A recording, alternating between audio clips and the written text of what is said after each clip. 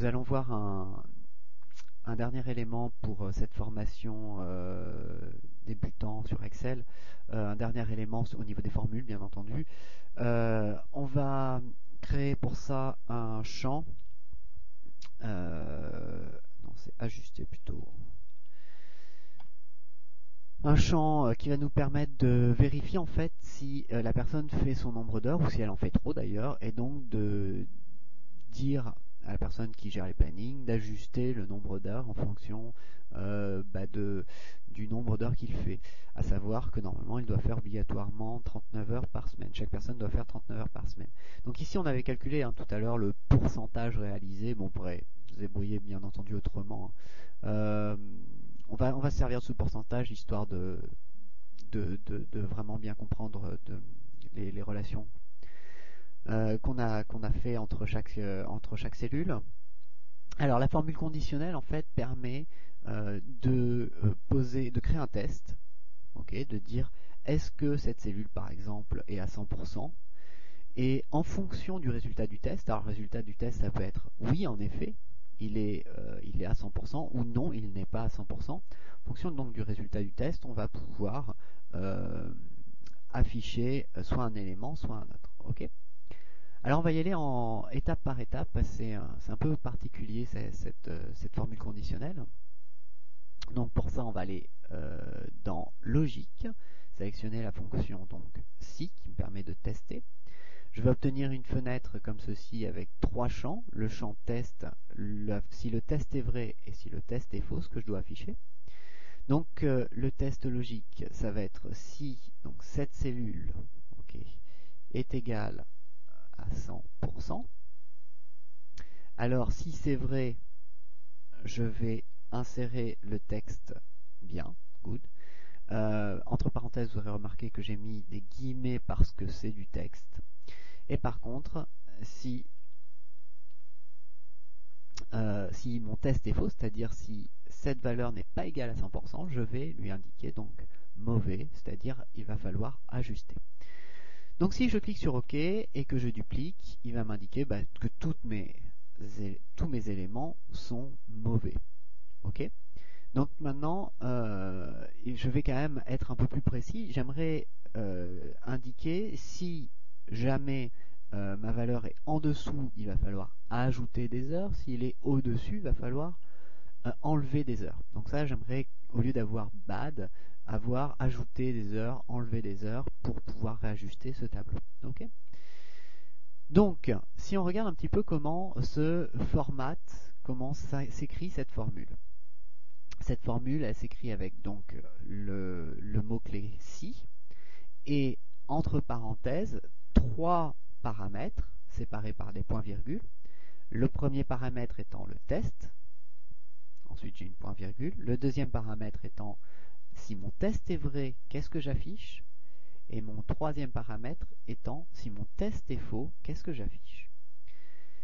Ce qui est intéressant en fait, c'est de, soit Excel, de pouvoir euh, insérer un calcul dans un calcul. Et on va voir qu'on va pouvoir le faire un petit peu euh, euh, de manière récurrente.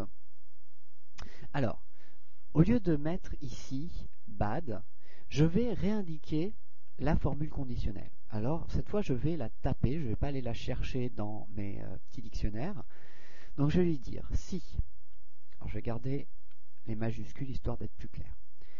J'ouvre la parenthèse et je ferme la parenthèse afin de pouvoir insérer des paramètres, mes trois paramètres séparés par des points-virgules, entre ces parenthèses. Le premier, le premier paramètre, pardon, c'est mon test. Donc si cette cellule-là, Q4, est supérieure à 100%, point virgule, donc s'il est supérieur, il va falloir ajouter, euh, pardon, s'il est supérieur, enlever des heures, toujours entre guillemets, car c'est du texte, sinon il va falloir ajouter heures. Ok?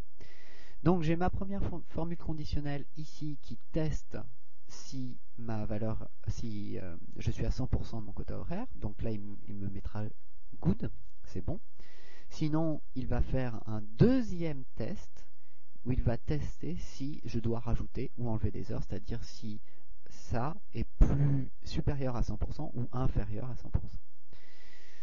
Donc, lorsque je duplique, il va me dire ici ajouter des heures. Donc, par exemple, si j'ajoute euh, ici une heure et ici 37 heures, 38 heures ici, je vais rajouter. Ah, je fais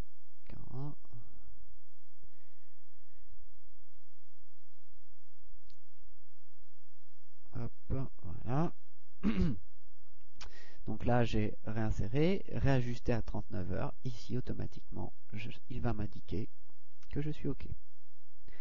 Alors, bien entendu, ce qui serait encore plus intéressant, c'est qu'il nous indique le nombre d'heures à rajouter ou le nombre d'heures à enlever. OK? Pour ça, nous allons revenir sur notre première formule et euh, on va devoir utiliser encore une fois une nouvelle formule dans formule. Alors, euh, on va utiliser ici euh, pour mélanger, pas ça, ça va être le cas, mélanger du texte à des chiffres, on va utiliser la formule qui s'appelle concaténer. Donc ça, ça permet de rajouter, de faire une concaténation, c'est-à-dire d'additionner grosso modo du texte, c'est-à-dire de mettre bout à bout des morceaux de texte.